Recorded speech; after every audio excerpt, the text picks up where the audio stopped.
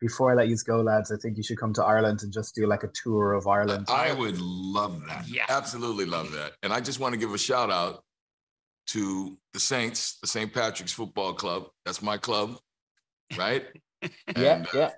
You know, I, I, I that's that's my club.